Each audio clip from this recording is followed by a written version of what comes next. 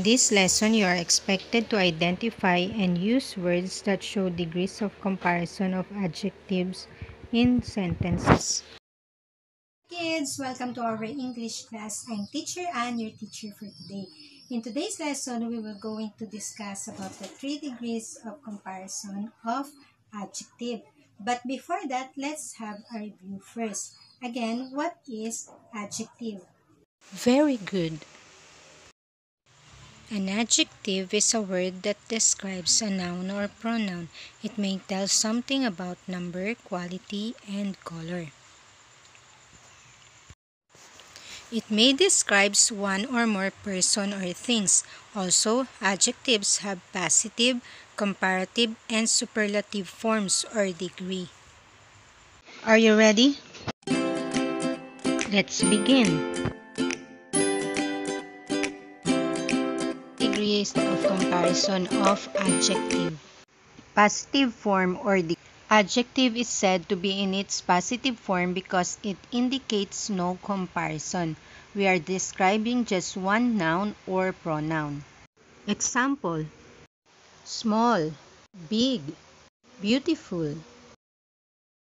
Let us use these words in a sentence. That box is small. This cat is big. Iya is beautiful. In these sentences, we only describe the box, the cat, and Maria. Comparative form or degree. Adjective is said to be on its comparative form or degree when we use to compare two nouns or pronouns. Example, smaller, bigger, more beautiful. It is formed by adding er or by using more before the adjective and than after the adjective. This box is smaller than the other one. The first box is compared to the other box. Her cat is bigger than Lisa. In this sentence, her cat is compared to Lisa's cat. Rose is more beautiful than Anna. In this sentence, Rose and Anna is being compared. The third one is the superlative degree. Adjective is said to be in its superlative form when we compare or describe more than two nouns or pronouns. How do we form the superlative degree of adjective? It is formed by adding est at the end of the word or by adding most before the adjective. Adjectives ending in y form their comparative and superlative forms or degrees by changing y to i and add er or est. Let us read the following examples. Pretty, prettier, prettiest. Lovely, lovelier, loveliest. Remember, there are also some adjectives that form their comparative and superlative degree by changing their spelling. Example of this is good, better, best, bad, worse, worst. Let's have some more examples. Let us read aloud the following words in the pictures. Long, longer, longest. Small, smaller, smallest. Big, bigger, biggest. Good, better, best.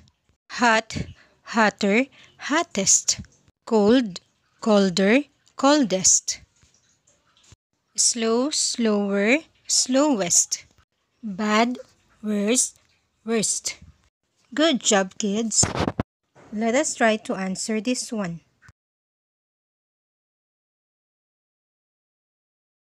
Very good. Let us check your answers.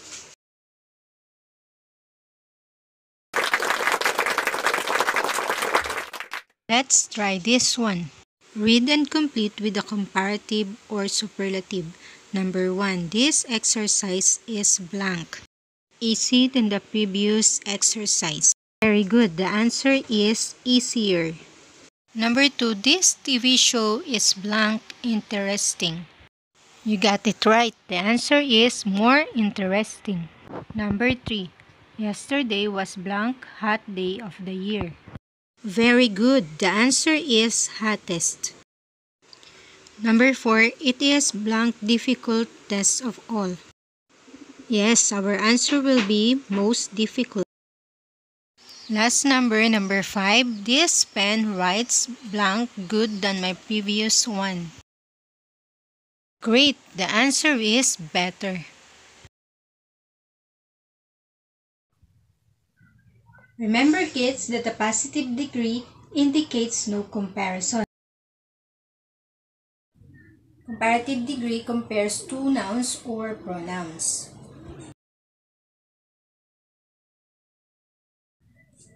Comparative degree is formed by adding er or using more before this adjective and than after the adjective. Relative degree compares more than two nouns or pronouns.